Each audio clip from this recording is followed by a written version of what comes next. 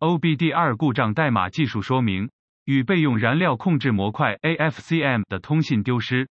这意味着什么？这是适用于大多数车辆品牌和型号的通用通信系统诊断故障代码，包括但不限于道奇、拉姆、雪佛兰、福特、GMC 和大众。此代码表示车辆上的备用燃料控制模块 AFCM 和其他控制模块未相互通信。最常与之通信的电路称为控制器局域网总线通信，或简称为 CAN 总线。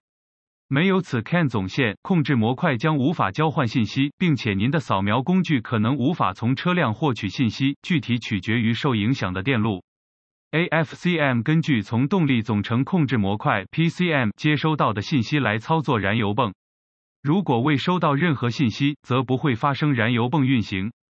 在压缩天然气 （CNG）、液态天然气 （LNG） 或丙烷应用中，AFCM 控制包含这些替代燃料中每种燃料的油箱的关闭电磁阀的操作。AFCM 也可以称为智能继电器模块，在这些应用中还可以负责向组合仪表提供燃油液位信息。故障排除步骤可能会有所不同，具体取决于制造商、通信系统的类型、通信系统中的电线数量和电线颜色。症状。U 零一零八引擎代码的症状可能包括故障指示灯 MIL 点亮，车辆会发动但不会行驶。如果引擎确实在运转，犹豫，缺乏权力，表现不佳，气缸失火，运行粗糙，油位表读数不正确。原因通常设置此代码的原因是在 CAN 总线加电路中断开，在 CAN 总线电路中断开，任意 CAN 总线电路中的电源短路。两个 CAN 总线电路中的对地短路，很少有故障的控制模块。诊断和维修程序，一个好的起点始终是检查特定车辆的技术服务公告 TSB。您的问题可能是制造商提供的已知修复的已知问题，可以在诊断过程中节省您的时间和金钱。首先，请注意是否还有其他诊断故障代码。如果它们中的任何一个与总线通信相关，或与电池点火相关，则首先进行诊断。如果您在彻底诊断和排除任何基本代码之前诊断 U 零一零八代码，就会发生误诊。如果您的扫描工具可以访问故障代码，并且从其他模块获得的唯一代码是 U 零一零八，请尝试与 AFCM 模块通信。如果可以从 AFCM 模块访问代码，则 U 零一零八代码是间歇性代码或内存代码。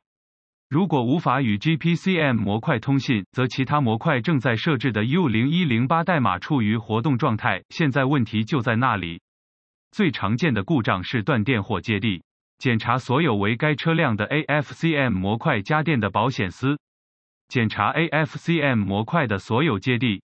找到车辆上地面连接点的位置，并确保这些连接清洁牢固。如有必要，请取下它们，用一把小的钢丝刷和小苏打水溶液清洗一下，并清洁连接器及其连接处。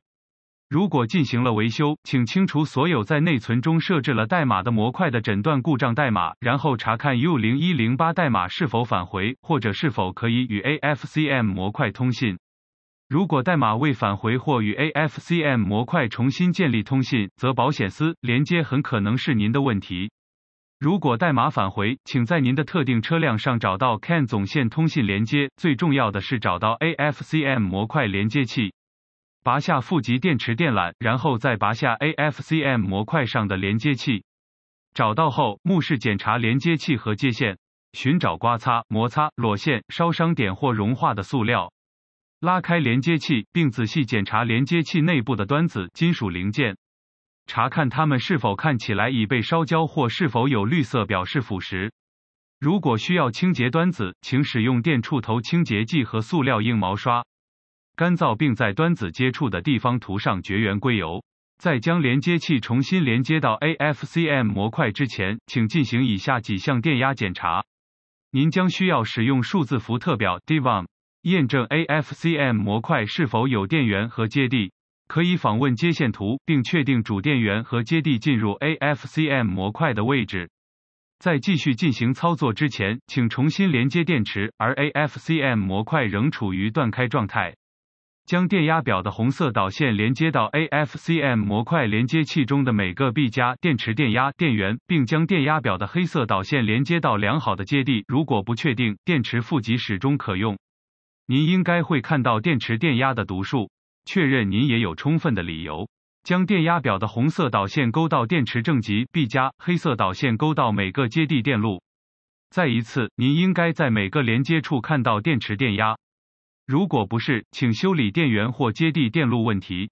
接下来，检查两个通信电路，找到 CAN C 加或 HSCAN 加电路和 CAN C 或 HSCAN 电路。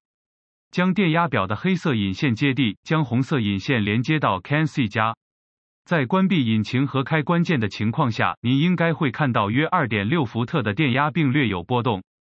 接下来，将红色电压表导线连接到 CAN C 电路，您应该会看到大约2.4伏，并且会稍微波动。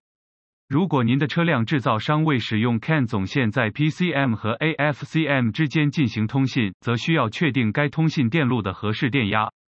如果所有测试均已通过且仍无法进行通信，或者您无法清除 U0108 故障代码，那么剩下的唯一要做的就是寻求训练有素的汽车诊断专家的帮助，因为这将表明 AFCM 模块发生故障。为了正确安装某些 AFCM 模块，必须已编程或已针对车辆进行了校准。